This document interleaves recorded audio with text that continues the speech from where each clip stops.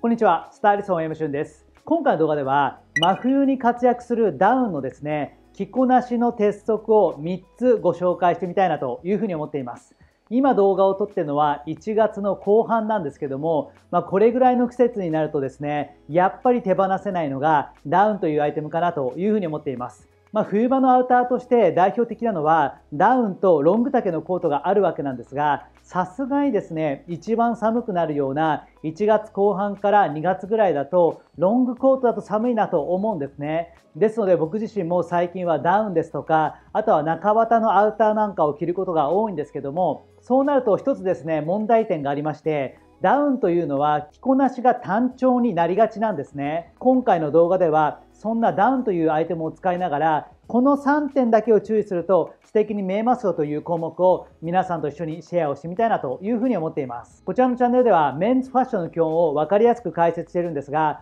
もう少し中級者的なアイテムですとかコーディネートについて知りたい方またはスタイリストの本音を聞いてみたいという方は僕がもう一つ運営してます YouTube のメンバーシップチャンネルというものがありますのでよかったらそちらの方も下のリンクからチェックしていただければなというふうに思っています。それでは早速いってみましょう。はい、ということで僕自身も実際にダウンを着てみました。どうでしょうか？まあ、このようなスタイルをですね、僕も日頃から楽しんでるわけなんですが、一点ずつ皆さんにですね、注意すべきポイントをこれから解説をしてみたいなというふうに思っています。まず最初に皆さんにお詫びをしておきたいんですけども、今着ているこちらなんですが、正確にはダウンではなくて、中綿のアウターになってるんですね。とは言いつつ、ほぼですね、見た目の感じはダウンかなと思うので、こちらを今回着ながら解説をしてみたいなというふうに思っています。まず1つ目の鉄則なんですが、ダウンの内側に着るアイテムは、きれいめを意識するという項目になります。まあ、ダウンですとか僕が今着てるような中綿のアウターというのは結構これ1枚で保温性がありますのでその内側に着るアイテムというのはそこまで厚手にはならないかなと思うんですねじゃあどんなものを着るのかというと代表的なもので言うとスウェットですとかパーカーですとかあと僕が着てるようなニットですねこの辺りが多いかなと思うんですね。で、その中で何が一番ですね、ダウンと相性がいいのかというと、僕はですね、ニットだと思ってるんですね。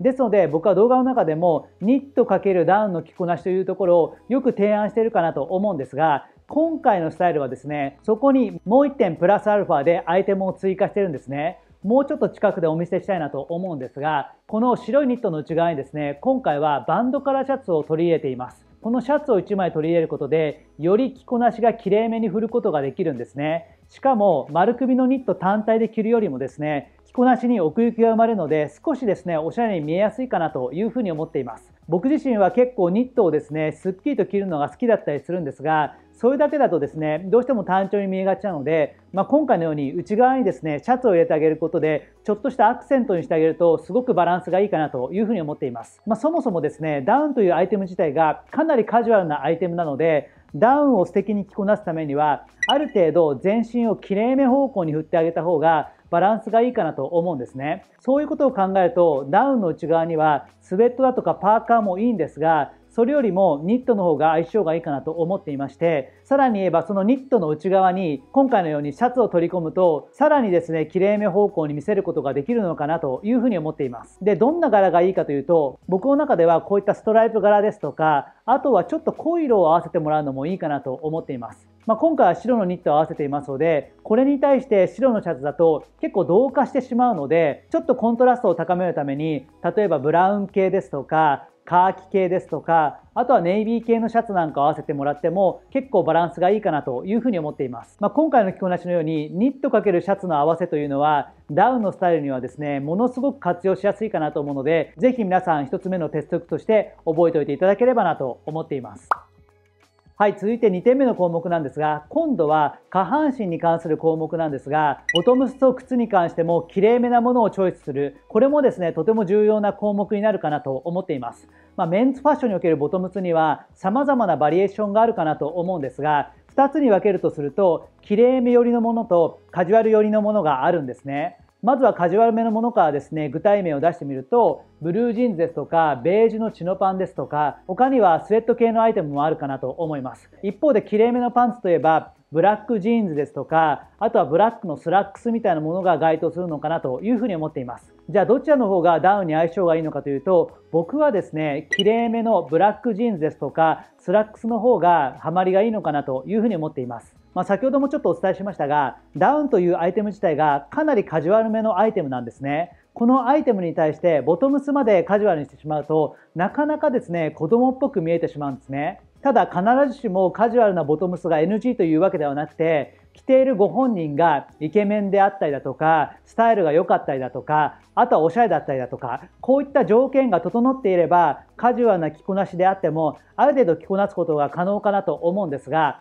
なかなかですね、こういった条件が整った方は多くないかなと思うんですね。ファッションがあまり得意ではなかったり、大人っぽく綺麗めに見せたいのであれば、ボトムスに関してはブラックジーンズですとか、あとはスラックスを合わせた方が僕はバランスがいいかなというふうに思っています。で、今回僕が合わせてるのは、その中でもブラックのスラックスになっています。もちろんですね、ブラックジーンズでも相性はいいかなと思うんですが、ブラックジーンズとスラックスを比べた時に、やはり後者のスラックスの方がより綺麗めに見えるんですね。しかもスラックスの方がダウンと合わせた時にちょっとした意外性があるんですね。カジュアルなダウンに対してきれいめのスラックスというこのちょっとした違和感を楽しむためには結構スラックスというアイテムが使い勝手がいいかなというふうに思っています今回は僕はですねユナイテッド東京のスラックスを合わせているんですがこちらは動画の中でもよく解説してますユニクロのスマートアンクルパンツに置き換えてもいいかなと思うのでそういったものと合わせてみるとですね非常に大人っぽく見えやすいですしカジュアルときれいめのバランスが取りやすいかなと思うのでぜひですね下半身に関してはややきれいめというところを意識していただきたいなというふうに思っています、まあ、一方でちょっとファッションを楽しみたいだとかおしゃれ中級者以降の方であればあえてカーゴパンツで外しを効かせてみるだとか、ジーンズでもちょっときれいめに見えるグレー系のものを合わせてみるというような、ちょっとした変化球もいいかなと思うので、そちらも頭の片隅に置いていただければなというふうに思っています。はい、続いてラスト3点目の項目なんですが、色の数を2から3色以内に抑えるというものなんですね。まあ、ダウンというのは先ほどからお伝えしている通りかなりカジュアルなアイテムなので色の数に関してはなるべく絞り込んでシンプルにまとめた方が大人っぽく綺麗めには見えやすいかなというふうに思っていますその際にまずはベースにしていただきたいのはモノトーンの色合いなんですねまあ、モノトーンっていうとブラックですとかグレーですとかホワイトというところが該当するかなと思うんですがこのような色を使うと結構まとまりがいいかなというふうに思っていますまあ、今回の僕の着こなしを見ていただきたいんですけども、一番外側に着てるアウターに関してはブラックですね。そして内側のニットはホワイト。今回はですね、下に着てるシャツはブルーとホワイトのストライプ柄になっているんですが、面積がそこまで大きくないので、このブルーはそこまで全体のイメージを大きく左右しないかなと思います。そしてボトムスに関してはこちらもブラックですね。ちょっと足元に関しては見えなくて申し訳ないんですが、今回はほぼ白に近く見えるようなかなり明るめのライトグレーのものを選んでいます。まこのようにですね、使っている色に関してはかなり絞り込んでいまして、ベースはですね、モノトーンの配色になってるんですね。まあ、このような色使いに関しては結構ですね、様々な大人の男性にも似合いやすいので、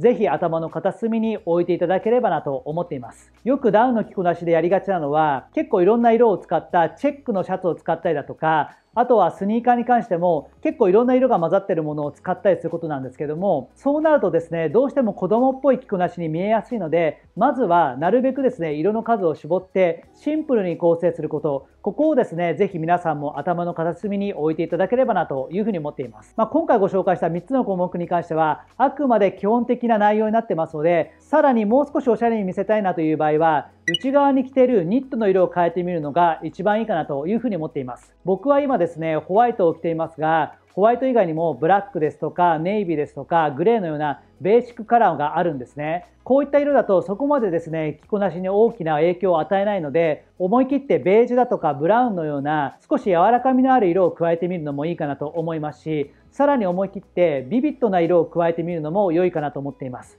具体的にはロイヤルブルーですとかあとはレッド系の色を入れて差し色にするのもいいかなと思うのでちょっと中級者的な着こなしとしてこういった項目も頭の片隅に置いていただければなと思っています。はい、ということで今回の動画ではダウンを素敵に着こなすための3つの鉄則というテーマでお話をさせていただきました。まあ、どれもですね、結構簡単で気軽なものが多かったかなと思うので、ぜひ明日からですね、皆さんも試していただきたいなというふうに思っています。まだまだこれからも寒い時期が続きますが、ダウンの着こなしを工夫しながらファッションを楽しんでいただければなというふうに思っています。以上、スタイリストの OM シュンでした。よかったらチャンネル登録もよろしくお願いします。